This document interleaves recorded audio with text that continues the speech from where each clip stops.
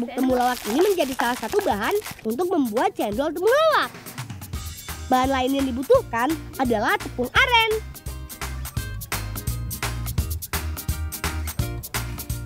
Kedua bahan diadon lalu dimasak di dalam kuali hingga mengental. Selanjutnya tinggal dicetak deh. Dan tada! Jadilah cendol temulawak. Untuk menikmati minuman cendol temulawak, kakak menambahkan jenang janggelan, mutiara, santan, dan gula merah cair atau jeruk. Wah, yuk teman kita cobain. Wah, juara! Kakakku memang hebat. Cendol temulawak ini benar-benar seger banget.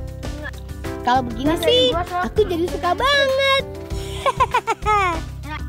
Manfaat temulawak pun bisa diambil tanpa harus berasa seperti minum jamu. Coba, Neban, yuk.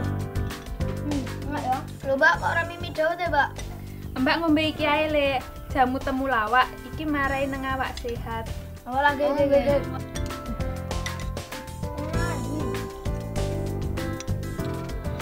Hmm, iya sob, ya.